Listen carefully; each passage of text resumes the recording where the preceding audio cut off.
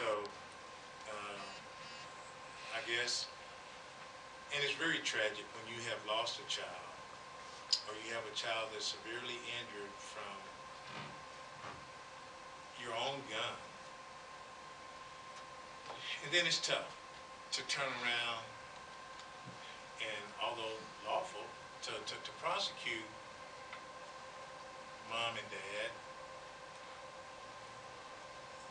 you know, you, you, you do have to hold them accountable.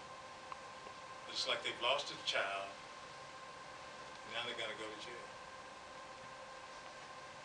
Education is key. Chief, you, um, back to the homicides, what does, if anything, the Houston Police Department do, starting today, for instance, to combat this, um, and also to, uh, address the perception among Houstonians that, uh, crime is an issue, particularly homicides? Well, first of all, you need to remind them, overall, this city is twelve percent safer the first two months of this year than last year. That's a fact. Now, that is a fact. So let me say that again.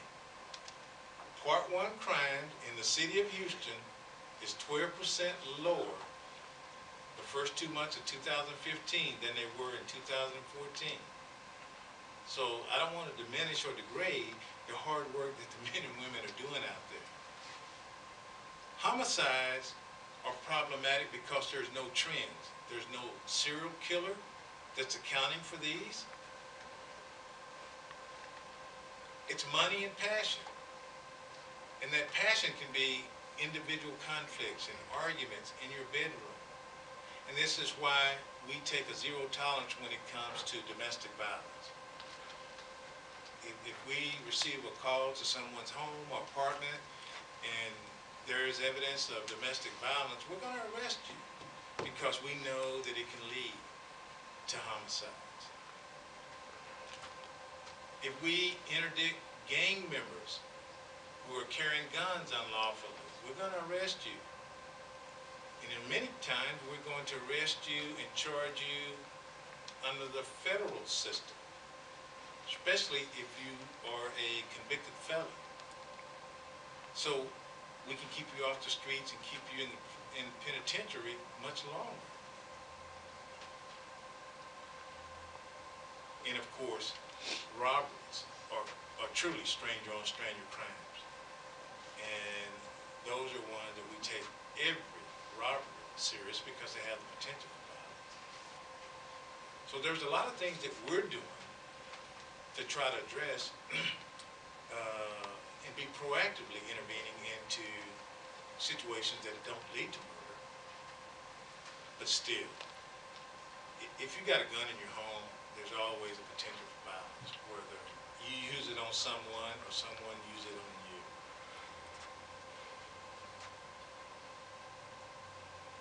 But I would say to most Houstonians, you're not involved in drugs, in a personal violence, and you're not engaged in a high-risk lifestyle, you know, during high-risk times of the morning or night, murders are rare.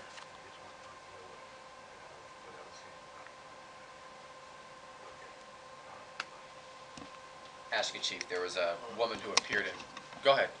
Okay. Woman who appeared in court today, she was arrested by Houston Police a little while back, uh, caught on camera essentially abusing her uh, two children. Uh, wondering if by chance you've got a reaction uh, to this particular situation or just any message to parents about how they handle their children?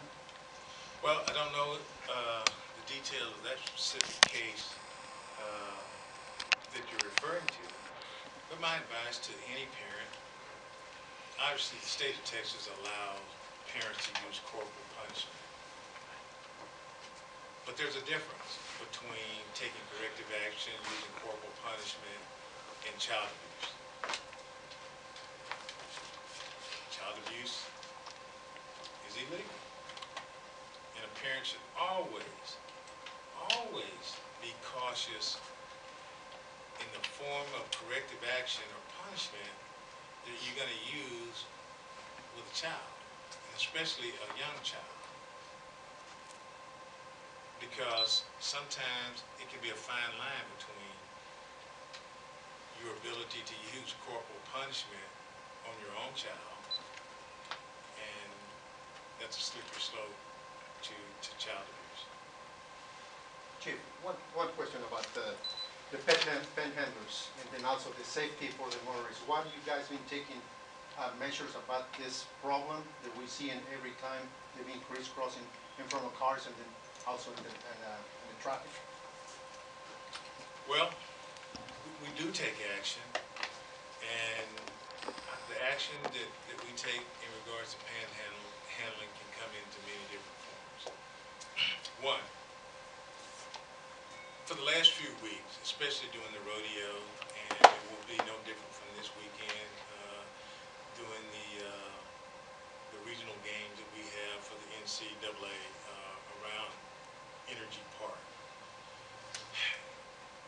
we try to solve the problem, not just look at it from trying to get them off the corner of the street today.